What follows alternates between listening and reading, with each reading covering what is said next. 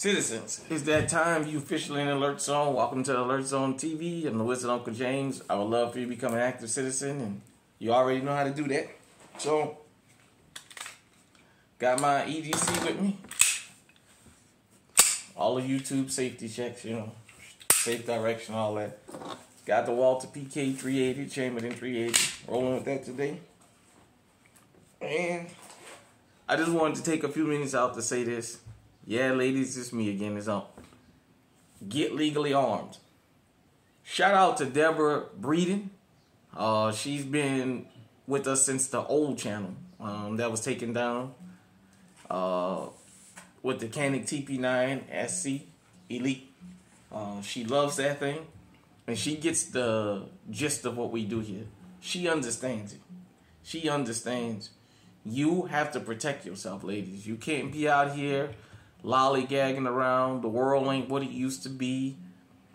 I saw uh, a story of, you know, road rages. I seen a story of a woman uh, yesterday or the day before following a family and stabbing up a three-year-old kid. I mean, it is it's crazy out here, ladies.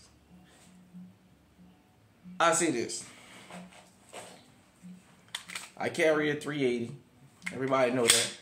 And everybody know why I carry a 380.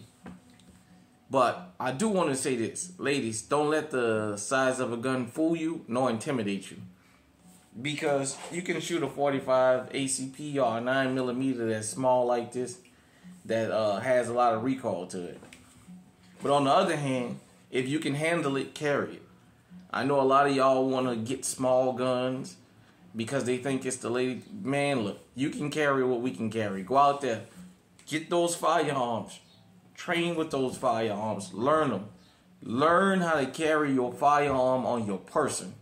A lot of women have to get out of this thing of constantly sticking firearms in your purse. Carry it on your person. Learn how to carry it with dresses on and what have you so you can understand and figure out what's the most comfortable way for you to carry. Because if the criminals run up on you out in public, they're going for your purse. Nine times out of ten, they think if you have anything, it's going to be in the purse. Carry on your person so when they snatch your purse and start fighting you for the purse, you can use the other hand and do what it is you need to do. They say diamonds are a girl's best friend. Here in the alert zone, we say you better make firearms your best friend. Because guess what? This can, has, and will, and still does save women lives every day. Every day. Crimes are falling. Because women have the sense to protect themselves. Ladies, I'm going to tell y'all what I tell the men. Don't let none of your friends talk you into not protecting yourself and calling you names. Get out there and protect yourself because you know what? Your sense of peace, once you lose it, you never get it back. It's one thing if you're able to put a stop to it. It's another thing if you lose the fight, but you had a chance at fighting. It's another thing if everything is taken from you and you can't ever get it back. Hold on one second. I'm gonna keep filming live. I'm not gonna stop the live stream.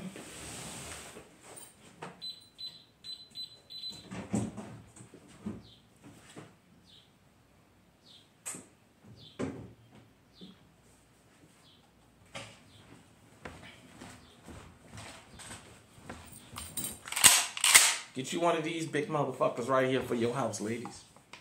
I want y'all to understand something. This is going to be very graphic, what I'm about to say, but it needs to be said.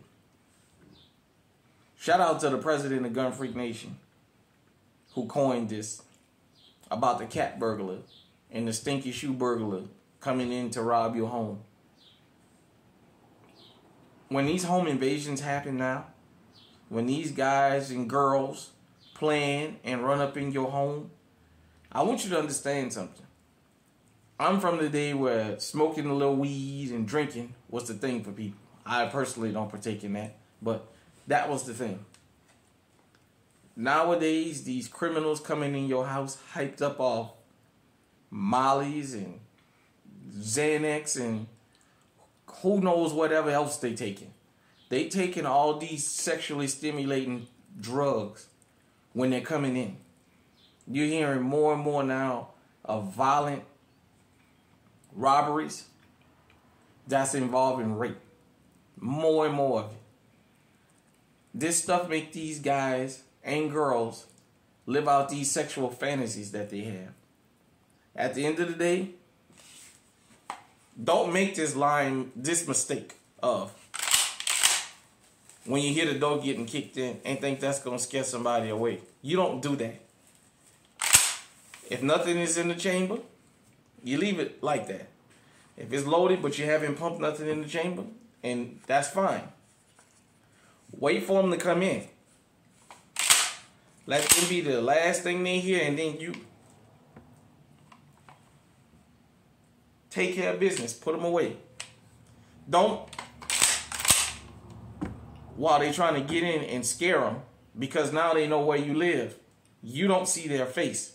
They know what you look like nine times out of ten, or they can learn what you look like, and you may pay for that down the road. You let them get up in there, and you do what you got to do to protect you and yours. So, with that being said, I'm just gonna say this: ladies, get legally armed. Don't be ashamed of it. But also remember, all criminals ain't black, and all criminals ain't men. A lot of these crimes is being happening, is being set up by women, or women are now partaking in. I know TV and social media shows black men as criminals, uh, but a criminal is a criminal. A criminal doesn't have a look.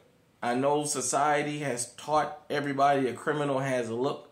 A criminal doesn't have a look. This is where situational awareness becomes appropriate and it becomes vital. Whether you married or single, protect yourself, protect your loved ones. Get out there and get legally armed. And please don't let none of your fellow church members tell you something about the Bible and what Jesus carry a gun. Yeah, the, the gun is the sword of this day. Jesus would encourage you that. The Lord said, sell your cloak and buy a sword. We sell we say sell your Gucci and buy you a damn Glock. So with that being said, hit me in the comment section like I said again. Shout out to Deborah Breeden for always rocking with the alert zone. Until next time, stay safe, stay armed.